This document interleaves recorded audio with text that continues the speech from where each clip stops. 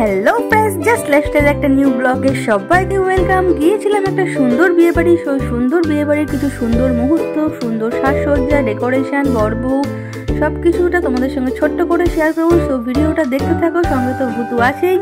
আর আমিও আছি, ভিডিওটা তোমাদের সাথে সুন্দর করে, ছোট্ট করে শেয়ার করার চেষ্টা করব। সাথে ছোট ছোট খাওয়া দাওয়াও শেয়ার করার চেষ্টা করব।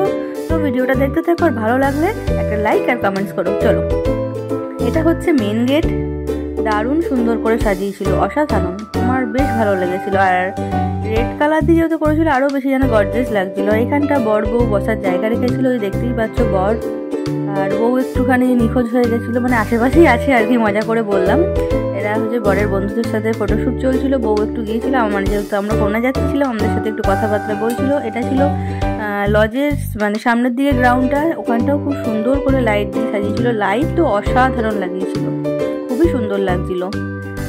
দেখো কত সুন্দর করে সাজিয়েছে। ইনি হচ্ছেন মেয়ের মা, ইনি হচ্ছেন মেয়ের বাবা, আর বাকি আমরা সবাই যারা কন্যা যাত্রী ছিলাম, তারা সবাই আশেপাশে রয়েছি ছড়িয়ে ছিটিয়ে। গল্প করছি, মজা করছি এই আর কি। দেখতেই পাচ্ছ, এটা হচ্ছে কন্যাযাত্রী বসার জন্য জায়গাটা করেছিল। লাইটগুলো দেখো কত সুন্দর সাজিয়েছিল। সুন্দর লাগছিল। পুরো পরিবেশটাই মানে একদম অসাধারণ। আর এই যে হচ্ছে আমার পুচকলি, আমার কুটি পাই আর এখানটা হচ্ছে বেসিক্যালি তোমার গিয়েছিলাম, এখানটায় স্টলগুলো লাগিয়েছিল, সাথে ছিল এই ফোয়ারাটা। আমার বেশ লাগল, ভাবলাম তোমাদের সাথেও একটু শেয়ার করি। এই জন্য এটা ছিল একটা মানে ফোয়ারারই একটা জায়গা ছিল আর কি, আর এখানে একটা গণেশ ঠাকুর ঢোল বাজাচ্ছিল, সাথে এখানেও টুকটাক লাইট দিয়েছিল, বেশ ভালো লাগছিল। আর সাথে এই পুরো জায়গাটাতে এখানে আইসক্রিমের স্টল পানের স্টল কাবাব, আর লেটেস্ট ছিল জিলিপি।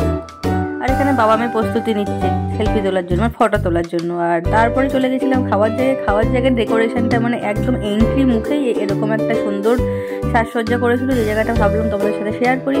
সুন্দর সাজিয়েছিল কিন্তু এটা। ভেজিটেবিল দিয়ে টোটালটাই ভেজিটেবিল আর কি ছিল? হ্যাঁ টোটালটা ভেজিটেবিলই ছিল। সেখানে মেনু কার্ড চলে এসছে। এবার খেতে বসে পড়েছি আমরা, কিন্তু মেনু কার্ডটাও ছিল একটু অন্যরকম। একটা ডিজিটাল ডল না, এগুলোকে থ্রি বলে মনে হয়। হ্যাঁ থ্রি ডি ডল মানে চোখটা বন্ধ হয়, খুলে এরকম টাইপের তারপরে চলে এলো কাবাব।